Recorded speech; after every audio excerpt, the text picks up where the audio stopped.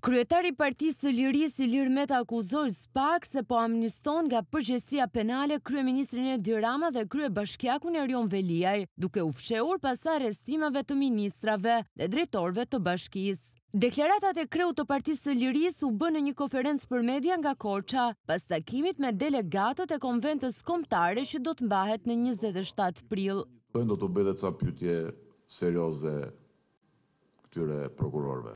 Janë lodh shumë duke gjet ato gjashtëdhjetë milion eurot që ua ka treguar Arben Ahmetaj ku janë edhe i dinë por nuk i gjejnë dot se nuk i lënë favoret që marrin nga Erion Velia u lodhën shumë ata duke arrestu drejtorat për shpëtu Erion Velinë u lodhën shumë Duke arrestu ministrat për të mbrojtur Edi Ramën?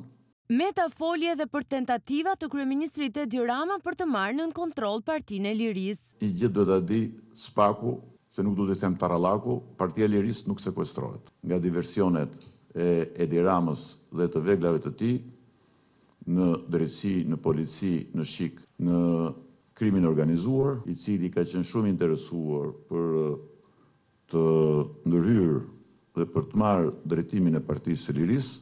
Ilir Meta nuk u shpreh i kënaqur me mënyrën e të funksionuarit të koalicionit opozitar, duke përfshirë këtu edhe këshillat bashkiakë.